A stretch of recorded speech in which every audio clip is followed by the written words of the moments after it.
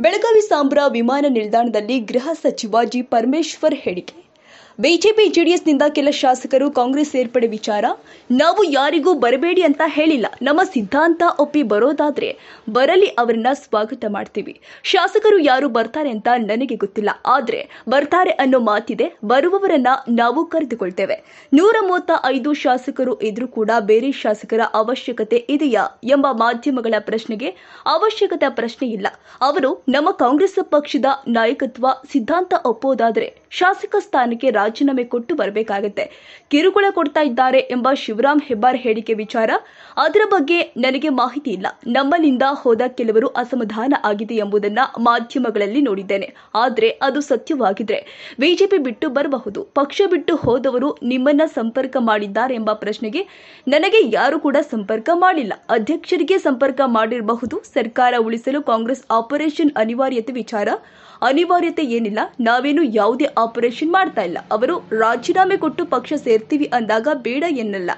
ಯತ್ನಾಳ್ ಭವಿಷ್ಯ ವಿಚಾರಕ್ಕೆ ಅವರು ಬಹಳ ಭವಿಷ್ಯ ಹೇಳ್ತಾ ಇರ್ತಾರೆ. ಏನಿಲ್ಲ, ನಮ್ಮ ಇಲಾಖೆಯಲ್ಲಿ ಪ್ರತಿ ಜಿಲ್ಲೆನಲ್ಲೂ ಕೂಡ ಸೂಪರ್ಡೆಂಟ್ ಆಫ್ ಪೊಲೀಸ್ ಇರ್ತಾರೆ. ಅದಕ್ಕೋಸ್ಕರ ಇಲಾಖೆ ಪ್ರತಿ ಜಿಲ್ಲೆವಾರು ರಿವ್ಯೂ ಮಾಡಿಕೊಂಡು ಹೋಗೋಣ ಅಂತ ಬಂದಿದ್ದೇನೆ. ಮೊದಲು ಧಾರವಾಡ ರಿವ್ಯೂ ಮಾಡ್ತೇನೆ, ಆನಂತರ commissionerate Dharwad commissionerate Hubli commissionerate ಅನ್ನ ರಿವ್ಯೂ ಮಾಡ್ತೇನೆ. ಸರ್ ಈಗ ಬೇರೆ ಬೇರೆ ಪಕ್ಷಗಳಿಂದ ಜೆಡಿಎಸ್ ಮತ್ತು ಬಿಜೆಪಿ ಕೆಲವು ಶಾಸಕರು ಕಾಂಗ್ರೆಸ್ ಬರಲಿಕ್ಕೆ ಒಂದು ಪ್ರಯತ್ನ ಮಾಡ್ತಾ ಇದ್ದಾರೆ. ಅದನ್ನ ಯಾವ ರೀತಿ ತಾವು ಅಲ್ಲ ನಾವು ಯಾರಿಗೂ ಬರಬೇಡಿ ಅಂತ ಹೇಳಿಲ್ಲ. ಯಾರು ನಮ್ಮ ಧ್ಯೇಯೋದ್ದೇಶಗಳನ್ನು ನಮ್ಮ ಐಡಿಯಾಲಜಿಯನ್ನ ಒಪ್ಕೊಂಡು ಬರೋರಿದ್ರೆ ಅವರನ್ನ ನಾವು ಸ್ವಾಗತ ಮಾಡ್ತೇವೆ. ಶಾಸಕರು ಯಾರು ಬರ್ತಾರೆ? ಗೊತ್ತಿಲ್ಲ ನನಗೆ ಆದರೆ ಕೆಲವರು ಬರ್ತಾರೆ ಅಂತ ಹೇಳಿ ಮಾತಿದೆ. ಬರೋರನ್ನ ನಾವು ಕರ್ಕೊಳ್ತೀವಿ ಏನು ತೊಂದರೆ ಇಲ್ಲ. ಸರ್ ಶಿವರಾಮ್ ಶಿವರಾಮ್ ಹೆಬ್ಬಾರ್ ಅವರು? ಅವಶ್ಯಕತೆ ಪ್ರಶ್ನೆ ಇಲ್ಲ. ಅವರು ನಮ್ಮ ಕಾಂಗ್ರೆಸ್ಸಿನ ಲೀಡರ್ಶಿಪ್ಪನ್ನು ಕಾಂಗ್ರೆಸ್ಸಿನ ಐಡಿಯಾಲಜಿನ ಒಪ್ಕೊಳ್ಳೋದಾದ್ರೆ ಅವರು ಅವರ ಶಾಸಕ ಸ್ಥಾನಕ್ಕೆ ರಾಜೀನಾಮೆ ಕೊಟ್ಟೆ ಬರಬೇಕಲ್ವಾ? ಸೊ ಅದನ್ನ ಅವರು ಆ ತ್ಯಾಗ ಮಾಡೋದಕ್ಕೆ ಅವರು ರೆಡಿ ಇದ್ರೆ ಬರ್ಬೋದು ನಮ್ಮ ಪಕ್ಷಕ್ಕೆ. ಸರ್ ಈಗ ಶಿವರಾಮ್ ಹೆಬ್ಬಾರ್ ಅವರು ಸಭೆ ಮಾಡಿದ್ದಾರೆ. ಈ ಹೊರಗಡೆ ಬಂದಂತವರಿಗೆ ಬಿಜೆಪಿಯಲ್ಲಿ ಕೆಲವೊಂದಿಷ್ಟು ಜನ ಎಲ್ಲೋ ಒಂದ್ ಕಡೆ ಕಿರುಕುಳ ಕೊಡ್ತಾ ಇದ್ದಾರೆ ಅನ್ನುವಂತ ಆರೋಪ ಕೂಡ ಮಾಡಿರುವಂತದ್ದವರು ಸೊ ಬಿಜೆಪಿ ಬಗ್ಗೆ ಅದ್ರ ಬಗ್ಗೆ ನನಗೆ ಯಾವ್ದು ಮಾಹಿತಿ ಇಲ್ಲ. ಅವರು ಕೆಲವರು ನಮ್ಮಿಂದ ಹೋಗಿದ್ದಂತವರಿಗೆ ಅಸಮಾಧಾನ ಆಗಿದೆ ಅಂತ ಹೇಳಿ ಮಾಧ್ಯಮದಲ್ಲಿ ಅನೇಕ ಸಂದರ್ಭದಲ್ಲಿ ನಾವು ಕೇಳಿದ್ದೇವೆ ನೋಡಿದ್ದೇವೆ. ಆದರೆ ಅದು ಏನಾದರೂ ಸತ್ಯ ಆಗೋದಾದ್ರೆ ಅವ್ರು ಬಿಟ್ಟು ಬರ್ಬೋದು. ಅಲ್ಲ ಆ ರೀತಿ ಹೊರಗ ಹೊರಗಿನಿಂದ ಹೋದವ್ರು ನಿಮ್ಮನ್ನ ಏನಾದ್ರು ಸಂಪರ್ಕಿಸಿ ನಮಗೆ ಈ ರೀತಿ ಇಲ್ಲ ಆಗಲ್ಲ ನನಗೆ ಯಾರು ಸಂಪರ್ಕ ಮಾಡಿಲ್ಲ. ಬಹುಶಃ ನಮ್ಮ ಅಧ್ಯಕ್ಷರಿಗೆ ಸಂಪರ್ಕ ಮಾಡಿರ್ಬೋದು. ಸರ್ ಸರ್ ಸರ್ಕಾರ ಉಳಿಸೋದಕ್ಕೆ ಆಪರೇಷನ್ ಹಸ್ತ ಮಾಡ್ಬೇಕಂತ ಅನಿವಾರ್ಯತೆ ಇದೆಯಾ ಇಲ್ಲ ಅನಿವಾರ್ಯತೆ ಇಲ್ಲ. ನಾವೇನು ಯಾವುದೇ ಆಪರೇಷನ್ ಮಾಡ್ತಾ ಇಲ್ಲ. ಅವರು ಅವರು ರಾಜೀನಾಮೆ ಕೊಟ್ಟು ನಮ್ಮ ಪಕ್ಷಕ್ಕೆ ಸೇರ್ತೀವಿ ಅಂತ ಅಂದಾಗ ನಾವು ಬೇಡ ಅಂತ ಹೇಳೋದಿಲ್ಲ. ಅವ್ರ ಭವಿಷ್ಯ ಬಹಳ ಬಹಳ ಬಹಳ ಬಹಳ ಭವಿಷ್ಯಗಳು ಹೇಳ್ತಾ ಇರ್ತಾರೆ ಅವ್ರು.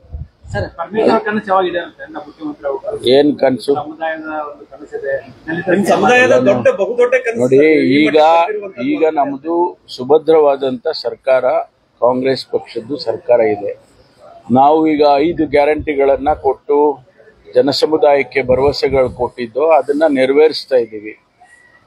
ಅದರಲ್ಲಿ ಮತ್ತೆ ತಿರ್ಗಾ ಇದೆಲ್ಲ ಮಾತುಗಳು ಬರಬಾರ್ದು.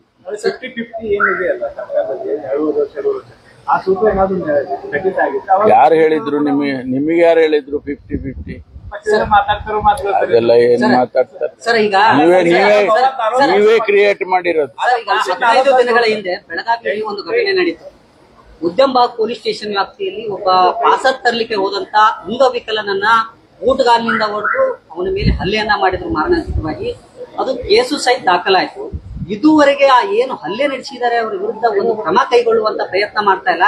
ಕೇವಲ ವರ್ಗಾವಣೆ ಅಂತಂದ್ರೆ ಆ ಕಚೇರಿಯಿಂದ ಪೊಲೀಸ್ ಕಮಿಷನರ್ ಕಚೇರಿಗೆ ಅವರನ್ನ ವರ್ಗಾವಣೆ ಮಾಡಿದ್ದಾರೆ. ಈ ರೀತಿಯಾದಂತಹ ಹಲ್ಲೆ ಮತ್ತೆ ಮೊನ್ನೆ ಚೆನ್ನಮ್ಮ ಮೂರ್ತಿ ವಿಚಾರಕ್ಕೆ ಸಂಬಂಧಪಟ್ಟಂತೆ ಅಲ್ಲಿಯೂ ಸಹ ಹಲ್ಲೆ ನಡೆದಿರುವಂತದ್ದು ಪದೇ ಪದೇ ಬೆಳಗಾವಿಯಲ್ಲಿ ಹಲ್ಲೆ ನಡೀತಾ ಇದೆ. ಅದಕ್ಕೆ ಸಂಬಂಧಪಟ್ಟಂತೆ ಏನಾದರೂ ಅದು ತಮ್ಮ ಗಮನಕ್ಕೆ ಬಂದಿದೆ ಅಂತ? ನಾನು ಅಂತ ಘಟನೆ ಘಟನೆಗಳನ್ನೆಲ್ಲ ಬಹಳ ಗಂಭೀರವಾಗಿ ತಗೊಳ್ತೇವೆ ಇಲಾಖೆಯಲ್ಲಿ. ನಾನು ಇವತ್ತು ರಿವ್ಯೂ ಮಾಡೋದಕ್ಕೆ ಬಂದಿರೋದೇ ಇಂಥ ವಿಚಾರಗಳನ್ನು ಮತ್ತು ಯಾವ ರೀತಿ ಜನಸ್ನೇಹಿಯಾಗಿ ಪೊಲೀಸ್ನವ್ರು ಇರಬೇಕು ಮತ್ತು ಅದು ಇದ್ದಾರಾ ಇಲ್ವಾ ಅಂತ ಹೇಳಿ ನೋಡೋದಕ್ಕೆ ಬಂದಿದೆ. ಇಂಥ ಘಟನೆಗಳನ್ನ ವಿಚಾರ ಮಾಡಿ ಅವ್ರ ಮೇಲೆ ಸೂಕ್ತವಾದಂಥ ಕ್ರಮ ತಗೊಳ್ಳೋದಕ್ಕೂ ಕೂಡ ನಾವು ಹಿಂಜರಿಯೋದಿಲ್ಲ ಇಲಾಖೆನಲ್ಲಿ. ನಾನು ಅದನ್ನ ಪರಿಶೀಲಿಸ್ತೇನೆ ಬೆಳಗಾವಿ ಇಂಟಲ್ಗಾ ಜೈಲಿನಲ್ಲಿ ಸಾಕಷ್ಟು ಅಕ್ರಮ ನಡೀತಾ ಇರುವಂತದ್ದು ಹತ್ತು ಸಾವಿರ, ಇಪ್ಪತ್ತು ಸಾವಿರ ಕೊಟ್ರೆ ಮೊಬೈಲ್ ಸಿಗ್ತವೆ. ಅಲ್ಲಿ ಕೆಲವೊಂದಿಷ್ಟು ಕೈದಿಗಳಿಗೆ ಕಿರುಕುಳ ಕೊಡುತ್ತೆ, ಕೊಡ್ತಾ ಇದ್ದಾರೆ ಹೌದು, ನಾನು ಕೇಳಿದ್ದೇನೆ. ಅದಕ್ಕೆ ಮುಂದಿನ ಬಾರಿ ಬೆಳಗಾವಿಗೆ ಬಂದು ಇಂಡಲ್ಗ ಜೈಲಿಗೆ ಹೋಗಿ ಅಲ್ಲಿ ವಿಚಾರ ಮಾಡ್ತೇನೆ. ಕಳೆದ ಬಾರಿ ನಾನು ಗೃಹ ಸಚಿವನಾಗಿದ್ದಾಗ ಭೇಟಿ ಕೊಟ್ಟಿದ್ದೆ. ಅಂಥ ಘಟನೆಗಳೇನು ಇರಲಿಲ್ಲ. ಈಗೇನು ಹೊಸದಾಗಿ ಇಂಥದ್ದೆಲ್ಲ ನಡೀತಾ ಇದೆ ಅಂತೇಳಿ ನಾನು ಕೂಡ ಸುದ್ದಿ ಕೇಳಿದ್ದೇನೆ. ಸದ್ಯದಲ್ಲೇ ನಾನು ಭೇಟಿ ಕೊಡ್ತೇನೆ. ಅದೇ ನಾನು ವಿಚಾರ ಮಾಡ್ತೇನೆ. ನಾನು ವಿಚಾರ ಮಾಡಿ ಅಂತ ಘಟನೆಗಳು ಯಾವ್ದಾರು ನಡೆದಿದ್ರೆ ಅದನ್ನ ನಿಲ್ಸೋದಕ್ಕೆ ಎಲ್ಲ ಕ್ರಮ ತಗೊಳ್ತೀವಿ. ಅಂಥದ್ದೆಲ್ಲ ನಡಿಬಾರ್ದಲ್ಲ ಜೈಲಿನಲ್ಲಿ?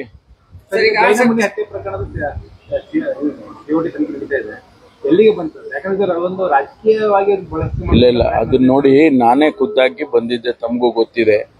ಇದು ಬಹಳ ಗಂಭೀರವಾಗಿ ತಗೊಂಡಿದ್ದೀವಿ ನಾವು. ಒಂದು ಸಮುದಾಯಕ್ಕೂ ಕೂಡ ಇದು ಸಂದೇಶ ಬೇರೆ ರೀತಿಯಲ್ಲಿ ಹೋಗಿದೆ ಅಂತ ಹೇಳಿ ನಾವು ಅದನ್ನ ಸಿ ಐ ಡಿಗೆ ಟ್ರಾನ್ಸ್ಫರ್ ಮಾಡಿ ಈಗ ತನಿಖೆ ನಡೀತಾ ಇದೆ. ತನಿಖೆ ತನಿಖೆ ಮಧ್ಯದಲ್ಲಿ ನಾನು ತನಿಖೆ ಹಿಂಗ್ ಹಿಂಗ್ ನಡೆದಿದೆ ಇಂತಿಂತ ವಿಚಾರಗಳು ಬಂದಿದಾವೆ ಅಂತ ನಾನು ಹೇಳಕ್ ಬರೋದಿಲ್ಲ.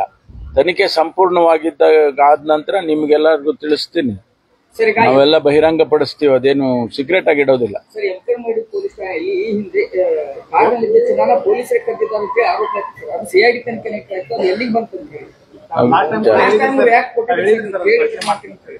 ವಿಚಾರ. ಮಾಡ್ತೀನಿ ಥ್ಯಾಂಕ್ ಯು ಸುಧಾಮ್ ದಾಸ್ ಅವ್ರನ್ನ ಎಂ ಎಲ್ ಸಿ ಮಾಡಕ್ ತಯಾರಾಗಿದ್ದಾರೆ. ಎಚ್ ಸಿ ಮಾದೇವಪ್ಪ ಅವರದು ಪತ್ರ ಬರ್ದಿದ್ದಾರಂತೆ. ಅದೇನಾದ್ರು ನಿಮ್ಗೆ? ಗೊತ್ತಿಲ್ಲ. ಗೊತ್ತಿಲ್ಲ. ನೀವು- ಕೂಡ ಬರ್ದಿರಿ. ಪತ್ರ ಬರ್ದಿರಿ ಅನ್ನುವಂತ ನಾನು ನನಗೇನು ಗೊತ್ತಿಲ್ಲ ಬಟ್ ಅಲ್ಲಿ ನಮ್ಮಲ್ಲಿ ಒಂದು ಅಭಿಪ್ರಾಯ ಇವರಿಗಿನ್ನ ಪಕ್ಷದಲ್ಲಿ ಕೆಲಸ ಮಾಡಿರೋರು ಹೆಚ್ಚು ಇದ್ದಾರೆ. ಅವ್ರನ್ನ ಪರಿಗಣಿಸ್ಬೋದಾಗಿತ್ತು ಅಂತ ಅಂತಿಮವಾಗಿ ಹೈಕಮಾಂಡ್ ಏನ್ ತೀರ್ಮಾನ ಮಾಡುತ್ತೆ ಅದ್ ನಾವೆಲ್ಲ ಒಪ್ಕೊಳ್ತೀವಲ್ಲ. ಅಲ್ಲ ಅವ್ರನ್ನ ಮಾಡುವಂತ ಸರಿ ಇದೆ ಅಂತ ಅದು ಹೈಕಮಾಂಡ್ ದೃಷ್ಟಿಯಲ್ಲಿ ಸರಿ ಇದೆ. ಅದರಿಂದ ನಾವು ಒಪ್ಕೋಬೇಕಾಗುತ್ತೆ. ಅಲ್ಲ ನಿಮ್ ನಿಮ್ಮ ದೃಷ್ಟಿಯಲ್ಲಿ ನಮ್ ದೃಷ್ಟಿ ಪ್ರಶ್ನೆ ಬರೋದಿಲ್ಲ. ಹೈಕಮಾಂಡ್ ದೃಷ್ಟಿನೇ ಬರೋದು.